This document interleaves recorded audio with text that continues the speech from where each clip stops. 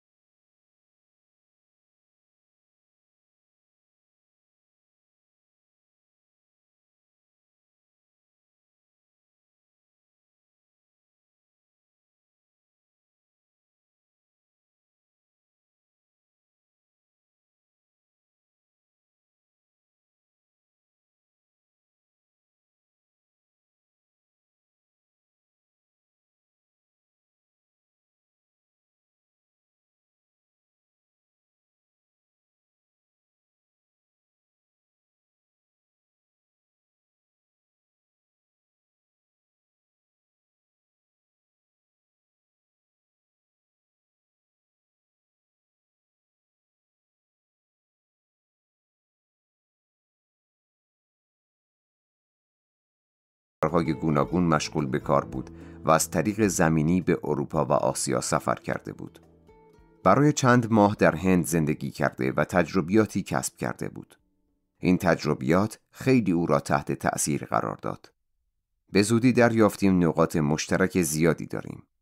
این نقاط مشترک شامل تمایلات عمیق به بهبود شخصی، کشش و علاقه به حکمت روانی و روانی شرق و غرب و تمایل وافر به ایجاد تغییرات مثبت در دنیا می‌شد. در سال 1977 با هم کتاب نسبتا کوچک باز پیوستن را به عنوان ابزاری برای تکامل نوشتیم و چاپ کردیم. در ابتدا سود چندانی در کار نبود اما در قدم بعدی کار ما این سود خودش را نشان داد. وقتی به گذشته فکر می کنم احساس می کنم انگار در هر مرحله از کار به ما امداد غیبی می رسید.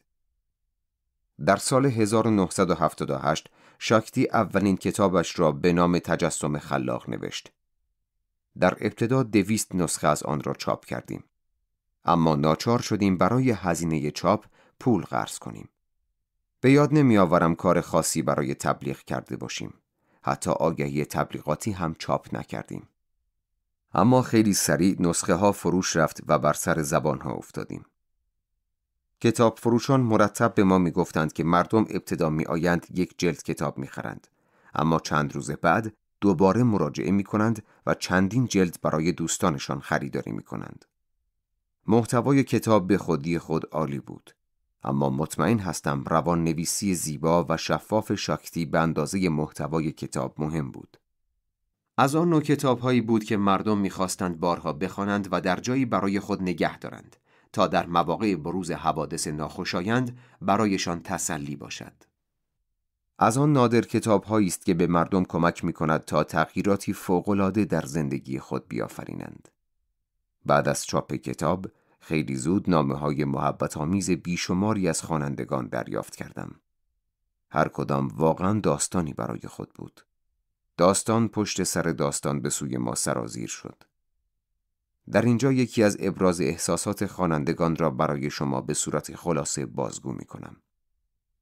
من کتاب های زیادی در ارتباط با خودیاری خواندم.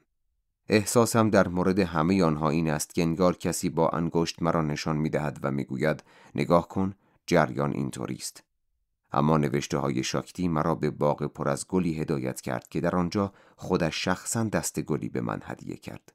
این دست گل آرامش، آسایش و نکت سنجی برای من برمغان آورد. از کتاب زیبای شما متشکرم.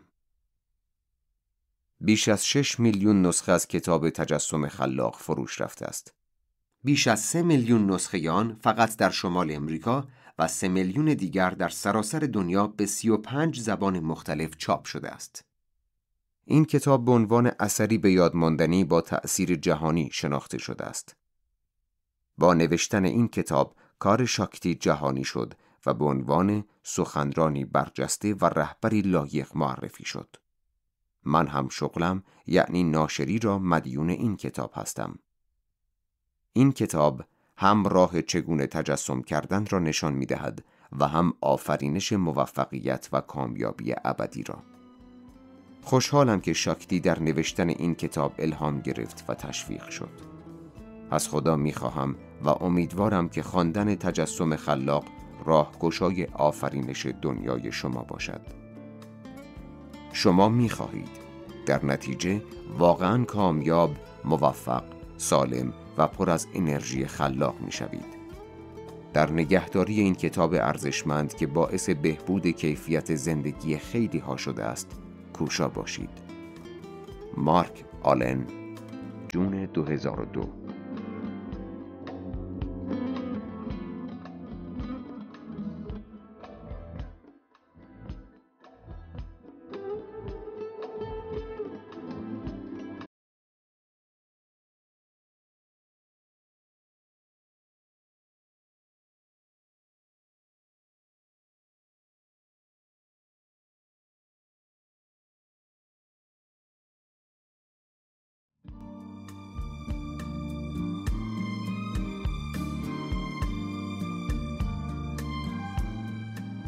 مقدمه برای چاپ مجدد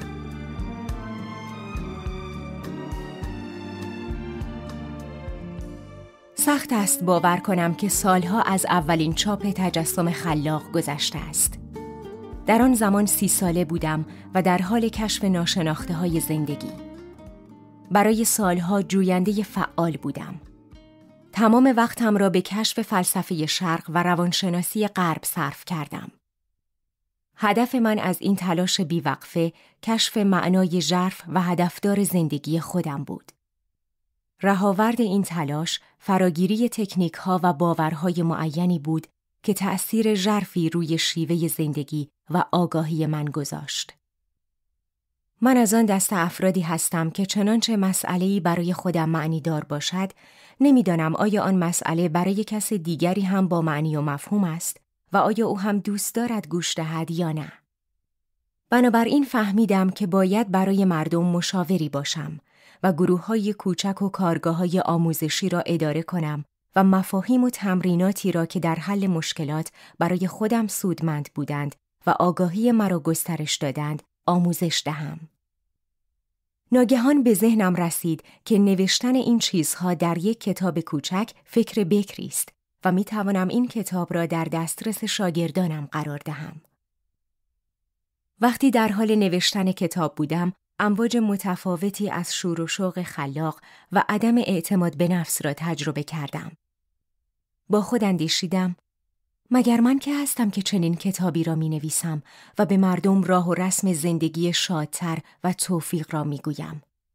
من در این زمینه مهارت کافی ندارم و زندگی خودم آری از نقص و عیب نیست. دوستم مارک آلن به من کمک کرد تا بر این مسائل بغرنج فائق آیم و تشویقم کرد دلنگران نباشم و فقط روی فرایند خلاقیت تمرکز کنم. تصمیم گرفتیم این کتاب را خودمان چاپ کنیم. علا رغم نداشتن اطلاعات کافی راجع به چاپ و نداشتن پول تا حدی توانستیم کتابهای خود را در چند کتاب فروشی معتبر توضیح کنیم. خلاصه داستان به نظر می رسد مردم این کتاب را دوست دارند و فروش آن بر سر زبانها افتاد و کم کم پس از گذشت سالها پرفروشترین کتاب شد و سپس در تمام دنیا معروف شد. فکر می کنم دلیل محبوبیت این کتاب بین مردم روانی، سادگی و کاربردی بودن آن است و همچنین تکنیک هایی دارد که شنوندگان می توانند فوراً به طور مؤثر از آنها استفاده کنند. خوشحالم از اینکه هزاران نامه دریافت می کنم مبنی بر اینکه چقدر این کتاب در حل مشکلات خاص و گاه جدی به مردم کمک می کند. خوشحالم که چنین فرصتی را برای خدمت به دنیا پیدا کردم. توانایی های خودم حین نوشتن این کتاب شکوفا شد. سالهاست که مراکزی را در گوشه و کنار دنیا اداره می کنم و چندین کتاب نوشته و چاپ کردم. تجسم خلاق کمک کرد تا راه زندگی خود را بیابم. درست همان کمکی که به دیگران می کند. اکنون برای چاپ مجدد این کتاب تغییراتی نسبتا جزئی در نظر گرفتم و به طرزی ساده سعی در شفاف سازی بعضی موضوعات معین و کندوکاو در مفاهیم مشخص کرده ام. به طور کلی مطالب آن را بروز کردم. اگر شما از قبل با اولین چاپ آن آشنایی دارید، امیدوارم از این تغییرات لذت ببرید. و اگر اولین باری است که این کتاب را میشنوید، به شما کمک می کند تا همه چیزهایی را که واقعا از ته قلب آرزو دارید بیافرینید. شاکتی گاوین مه 2002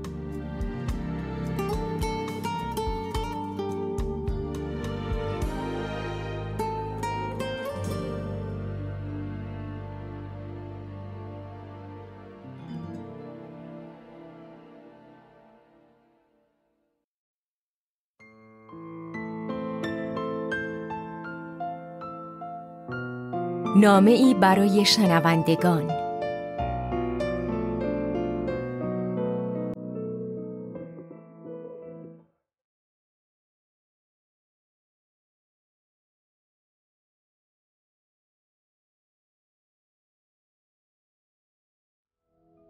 دوست دلیل من برای نوشتن این کتاب این بود که به نظرم می رسید بهترین راه برای سهیم شدن مطالب ارزشمند با دیگران نوشتن است.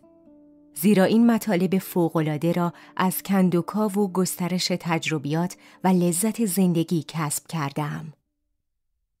خودم را فردی صاحب نظر در تجسم خلاق نمی‌دانم. فقط دانش آموز مطلبی هستم که هرچه بیشتر مطالعهش می کنم بیشتر از تجسم خلاق بهره می گیرم و بیشتر در میابم که آن چه نیروی بالقوه عظیم و مؤثری است. در واقع به اندازه قوه تخیل خود شما خلاق است. این کتاب مقدمه برای یادگیری و استفاده از تجسم خلاق است. اصول ناچیزی از آن در من وجود دارد.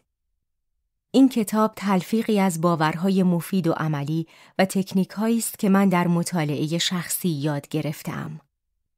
این کتاب تکنیک های متفاوتی دارد. شما احتمالا خواهید فهمید که بهترین اثر را روی شما می‌گذارد. اما این مسئله را یک باره در نمیابید بلکه به تدریج به آن واقف می شوید.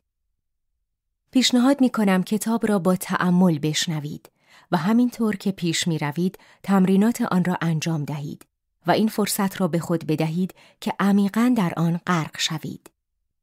شاید بخواهید اول به سرعت آن را بشنوید ولی برای بار دوم با تأمل بیشتری آن را بشنوید. این کتاب هدیه من به شما با عشق است. احتمالاً برکتی برای شماست و به شما کمک می کند به زندگیتان لذت، خوشنودی و زیبایی ببخشید. این کتاب نوری را که در درون شماست پرورش می دهد و درخشان می کند. با عشق شاکتی